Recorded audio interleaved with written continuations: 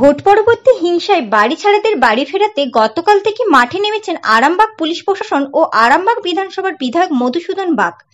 গতকাল ছাব্বিশ জনকে বাড়ি ফিরিয়ে দেওয়া হয় এবং তারা বাড়ি ফিরে নিজের বাড়িতে থাকতে পেরে অত্যন্ত খুশি বলে মনে করেছেন বাড়ি ছাড়া ব্যক্তিরা।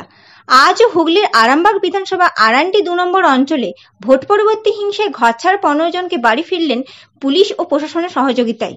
ভোট পরবর্তী হিংসায় বাড়ি ছাড়াদের বাড়ি ফিরে দেওয়া উদ্যোগকে সাধুবাদ জানিয়েছেন সকল বুদ্ধিজীবী সম্পন্ন সাধারণ মানুষজন। এরই পাশাপাশি গৃহবন্দী কর্মীদের সাথে সাক্ষাৎ করেন এবং পাশে থাকার আশ্বাস দেন।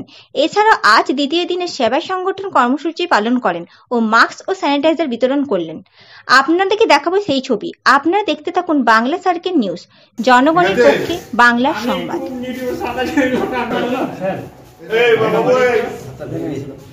আমি একজন চন্দ্রমান গ্রামের স্থায়ী বাসিন্দা। বাবার নাম নিমাই চন্দ্র মান্না। আমি একজন বিজেপির সক্রিয় কর্মী ছিলাম। কিছু দুষ্কৃতী আমার বাড়িতে ভাঙচুর করেছে এবং আমি দু তারিখ থেকে এই দু তারিখ পর্যন্ত বাড়ি ছাড়া ছিলাম আজকে এমএলএ সাহেব পুলিশের সহযোগিতায় আমাকে বাড়িতে পৌঁছে দিয়েছেন এবং ওনারা মানে পরবর্তীকালে আমার উপর যদি কোনো কিছু টর্চারিং হয় পুলিশ কর্তা মানে তার দায়িত্ব নিয়েছে। মান্না। বাবার নাম? নিমাই মান্না। বাড়ি?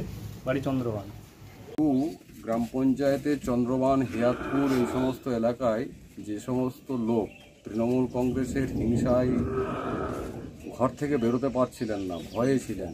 তাদের পাশে এসে দাঁড়ালাম এবং তাদের আশ্বস্ত করলাম যে ভারতীয় জনতা পার্টির কর্মী হিসাবে এবং এলাকার বিধায়ক হিসাবে যারা আমাদের ভোট দিয়েছেন তাদের পাশে এবং যারা ভোট দেননি তাদের পাশেও আমরা থাকব।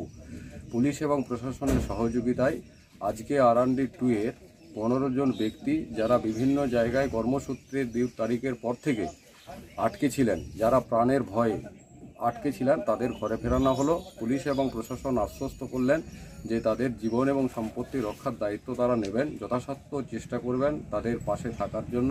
আমরাও তাদের আশ্বস্ত করছি, কারণ এই সমস্ত পরিবারগুলো, যারা আমি আজকে তাদের পরিবারগুলোকে দেখলাম, তাদের সর্বস্ব খুইয়ে গেছে তারা।